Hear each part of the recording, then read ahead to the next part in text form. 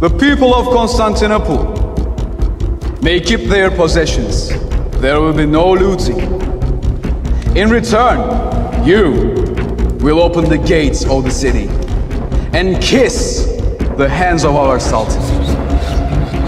Sultan Mehmet will be the one ruler of the Romans. Esau. What do you get out of Esau? Now, Isa is going into Esau and Saul. It is going into the parables, the parables.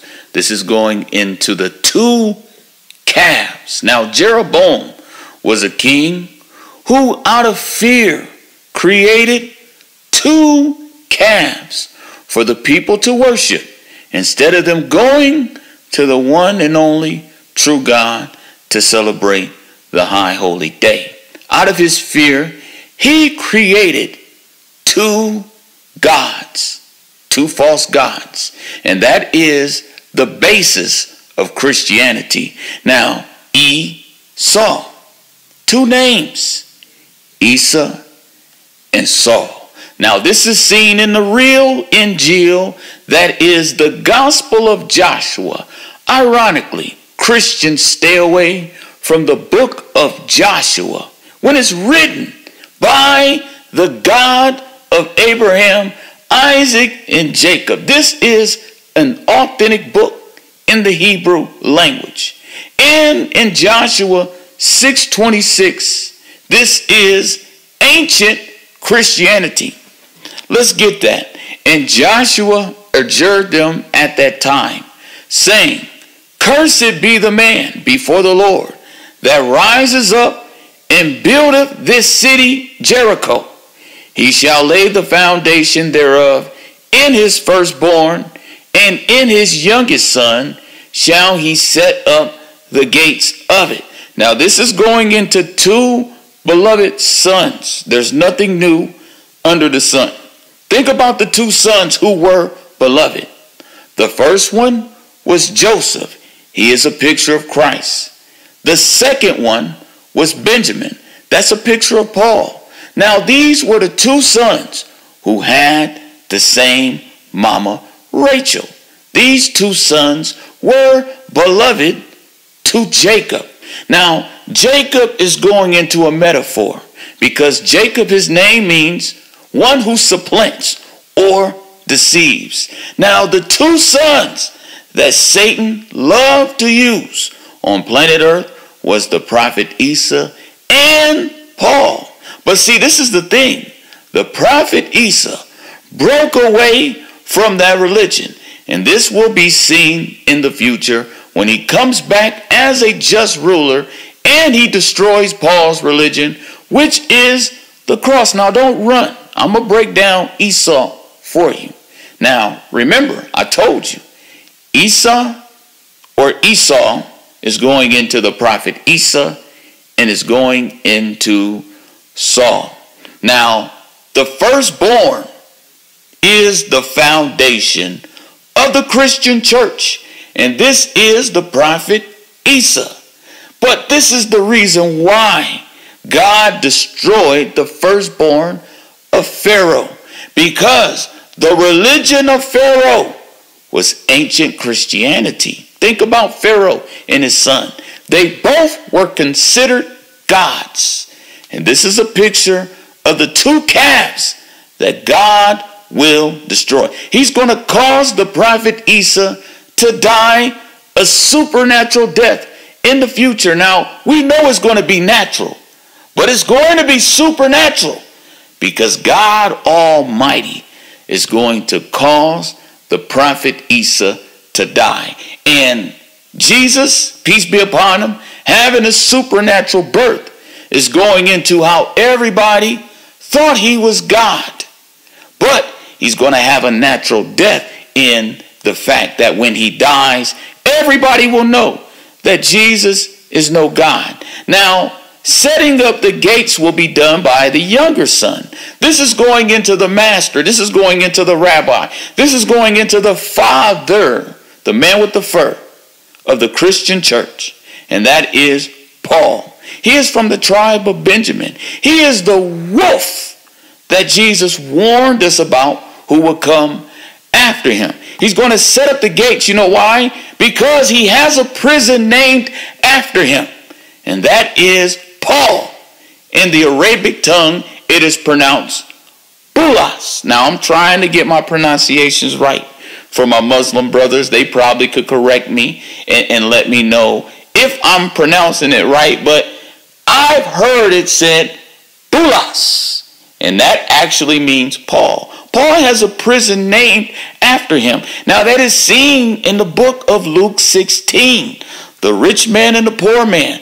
The rich man was a picture of Paul. He is the man with all of the flocks, all of the herds. This is going into all of these churches. He is a picture of John the Baptist, the man with all the churches. And the poor man is Christ. He is the one who was laying in Abraham's bosom, just like John was laying in Christ's bosom. This is the poor man who had no place to lay his head because his inheritance was stolen by Paul.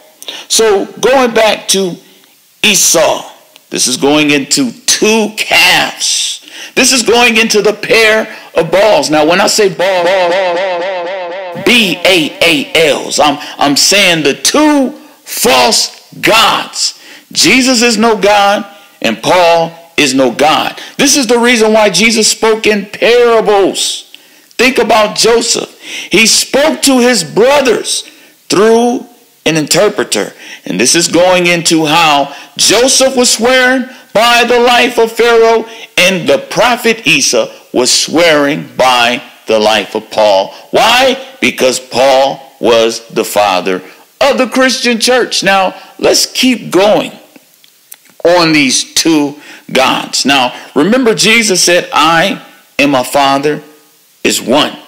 Remember Jesus said, He that have seen me have seen the Father. Remember Jesus said, He that honors me must honor me like he honors my Father. Now, all of these references, including before Abraham was I am, is going into the false Abraham and it is going into Paul. You see, in your Bible, in the first book of Corinthians 4.15, we have a man who calls himself the father of the Christian church. Now, one thing I've learned is that Christians do not recognize Paul as their father, even though their Bible says it. Now, I want to read it real quick because a lot of Christians are in the dark. I had one man tell me, Who told you that Paul is the father in Christ Jesus? I said, Your own Bible. And he got raptured for three days. They always disappear when the truth come out in the comments. And then he tried to twist the whole thing. But let's go to 1 Corinthians 4 15. For though you have 10,000 instructors in Christ, yet have ye not many fathers. For in Christ Jesus I have fathered you, or I have become your father through the Gospels. So this is that father and son religion. Now, Jesus is called the Son of God by himself. He said that. He called himself the Son of God only one time. But he also identified as the Son of Man. Now, the Son of Man and the Son of God is all going into being a son of Paul. Now, this was the mystery that was hidden from the foundations of the world that Christ was a son of Paul. Christ had to suffer the curse of Canaan, and that was Ham.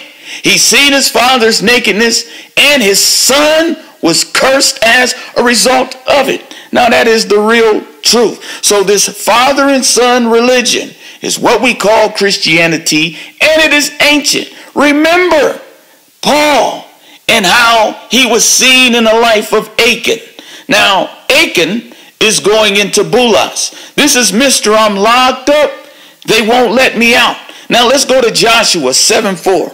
And I'm going to show you how Achan or Achan, this is also going into a con artist, a false prophet, get it? P R O F I T, a religious scam, okay? All of this stuff is coming from Mr. Achan. This is going to be Joshua 7 and 4. So there went up thither of the people about 3,000 men, and they fled before the men of Ai. And the men of Ai smote of them about 30 and 6 men, for they chased them from before the gate even unto Shebarim, and smote them in the going down, wherefore the hearts of the people melted, and became as water. And Joshua said unto Achan, My son, Give, I pray thee, glory to the Lord God of Israel, and make confession unto him, and tell me now what thou hast done. Hide it not from me. You see, the truth about Paul has been hidden for eons and eons. But right here in the house of David, this unique ministry, the truth about Paul is coming out. Going on. Verse 20, and Achan answered Joshua and said, Indeed, I have sinned against the Lord God of Israel, and thus and thus have I done. Now you're going to learn that Paul is Saul. Okay, that's why he's about to say this right now. Watch this. Verse 21. When I saw, see, this is all going into Saul. And I want to pause real quick and I want to come back because remember how Saul was so jealous at King David. And this is going to be in 1 Samuel 18 and 6. And it came to pass as they came, when David was returned from the slaughter of the Philistines, that the women came out of all the cities of Israel, singing and dancing to meet King Saul with tabrets, with joy, and with instruments of music. And the women answered one another as they played, and said, Saul has slain his thousands, and David his tens of thousands. And Saul was very wroth, and the saying displeased him. And he said, They have ascribed unto David ten thousands, and to me they have ascribed but thousands. And what can he have more but the kingdom? You see, the kingdom is finna go from the Christians to the Muslims. Oh, I know you mad because we have a real religion. Your religion worships Mary. Your religion worships Saul. Your religion worships Jesus as God. But right here in the house of David, we worship the one and only true God. And right here, when it says Saul has slain his thousands, that's going into how the Christians have killed thousands of the Arabians. But the Arabians have killed tens and thousands of the Christians because there's coming a day when God will give every Muslim a Jew and a Christian, and he will say, This is your ransom from the fire. You see, the church had it all wrong. Jesus did not die for the church. The church will die for Jesus and the church will die for the Muslims. But going on in verse 9, and Saul eyed David. See, Saul saw, S A W. He saw something. Saul eyed David from that day in that day forward. You see, Saul saw the prophet Muhammad, peace and blessings be upon him, coming in Arabia, in Mecca, with ten thousands of saints. And that's why he got mad. He got mad at the ten thousands because Paul wanted to be this guy.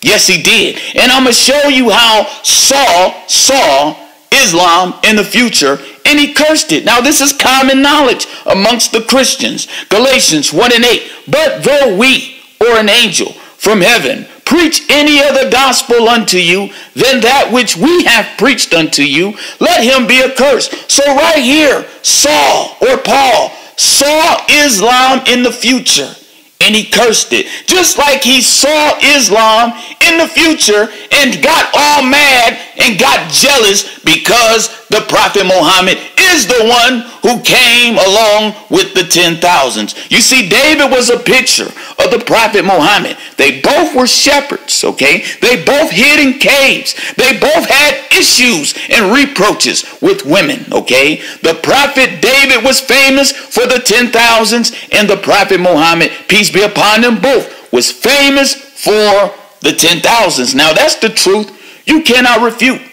Now let's go back to Joshua and let's go to verse 21. And it's going to give you them same words. I saw. And Joshua 7:21. When I saw See, there you go.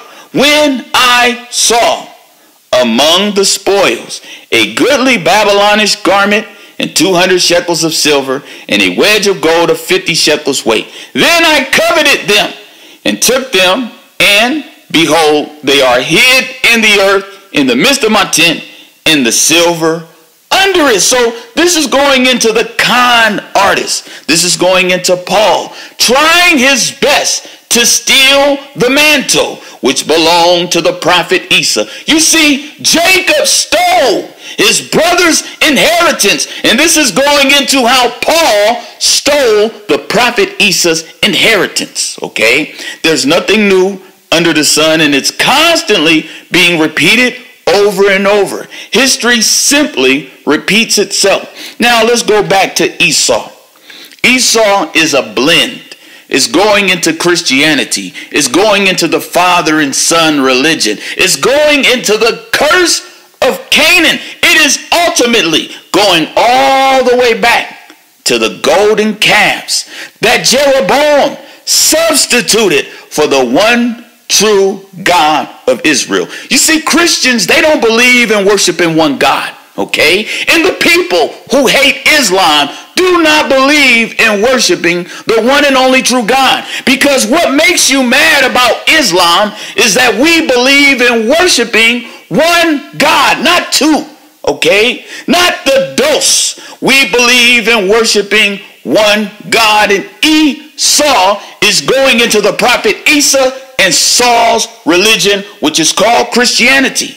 Because Saul saw what the prophet Isa was going to be the Messiah of. And that is the religion of Islam. You see, he saw that. And so he stole Jesus from the religion of Islam and he put him in Christianity because he saw. His name is Saul.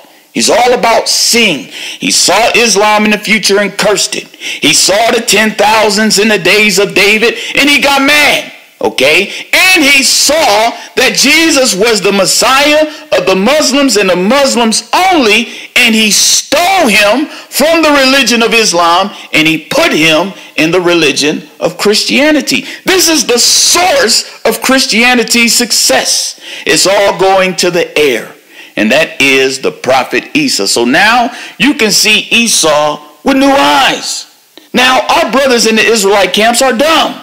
They don't see the truth. They think that Esau is just white, white, white people. No, Esau is going into a religion. That's why God says he loved Jacob and he hated Esau. He hates that two calf religion we call Christianity. It's not just going into black and white and black and white. No, because according to Ecclesiasticus, God tells us that he doesn't hate his creation, that he doesn't hate anything he made. Why would he make it if he hates it? This is going into the hatred that God has for Esau, and that is going into the two calves, that is going into the two God religion. Even Jesus said, No man can serve two masters.